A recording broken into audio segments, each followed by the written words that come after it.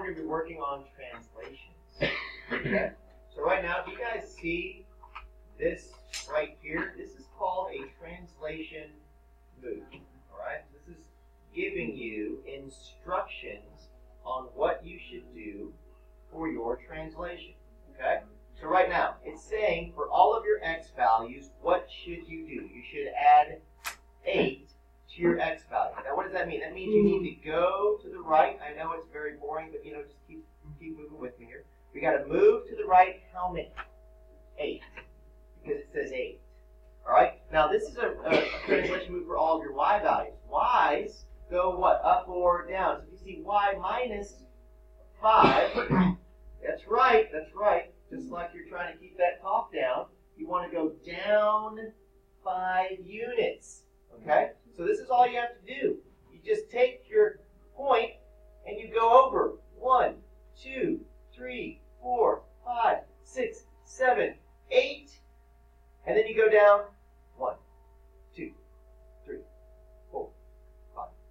So this right here, this becomes your Q prime. So once again, I'm going to go over two different ways, all right? I got to go over a certain amount and down a certain amount. So here we go.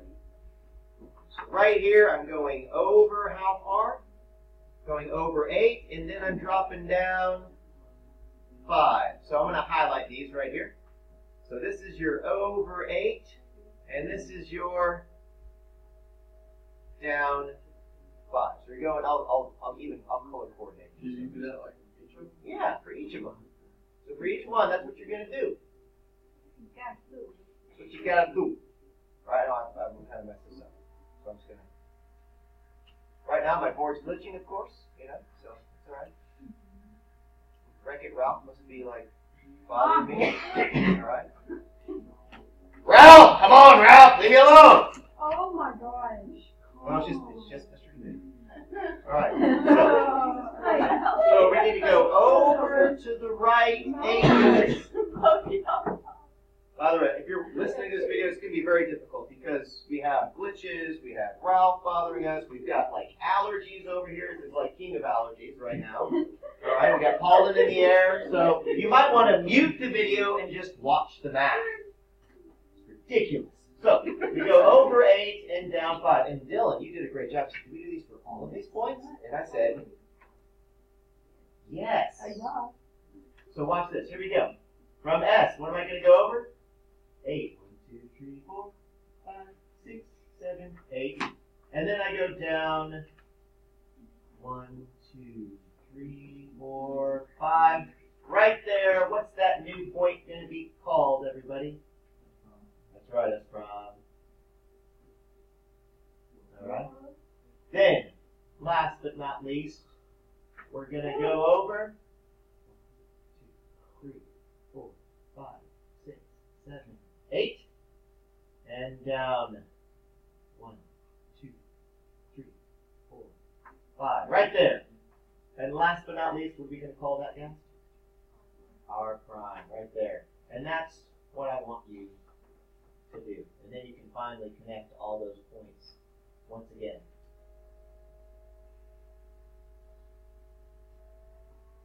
Good news is nobody watches these videos anyway, so it's not like going to be a good anymore. So there we go. So right there, this is your image. This was your pre-image. This is your image. And what's that called? This is called the translation move. That's what you need to understand. So X's either go which way? Left or right. Y's go up or down. So, for example, it says, in this graph, it says, shows repeated translations resulting in this animation of the star moving. Translation that was used to move the star 1 to star 4. Star 1 to star 4. So here we go. Once again, I'm going from star 1 to star 4. So think of star 1 being right here at what? Negative 5, negative 1. You see that right there? Negative 5, negative 1. We got to go to what? Star 4. So how far did I go over? 1, 2, 3, 4, 5, 6. So the translation move is I took my x values and I moved them 6 units to the right, comma, Now I'm going to go up a certain amount. One, two, three, four, five, six. Now, it's very important. Do you guys notice how we started right here? And we finished right here. This is at the very, very, very top of the star, right? That's at the top, so we got to go from the top to the Top of the other star. You have to go from the top of the first star to the top of the second star. I like that view off of open view. Alright? So, Right now, if you look at it, how far did we go up? One, two, three, four, five, six. So this is going to be your y values, and we're going to add six because it went up and it went to the right. It really does. So, It's really easy. If it goes to the right for x's, it's going to be a plus.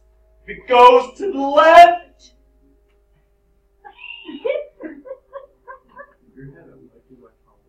okay. If I go to the right for the x's, by the way, this is what I'm looking like in the class. Imagine me, I'm the hand.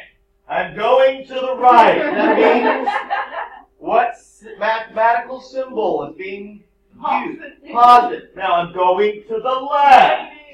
Negative. I'm going. What y values? I'm going up. Up. Going to. That's right. Good job. Your, your job is to do the rest of this. This is easy. You get. If you don't do this, it's your own.